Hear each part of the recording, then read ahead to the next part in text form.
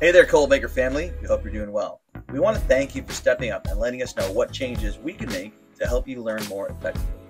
We heard you, and we want you to know that we now have courses that are offered in the late afternoon and the evening. Head over to the CBU calendar to find out which classes are offered during these new time slots. We hope to see you soon, but until then, take care of yourself.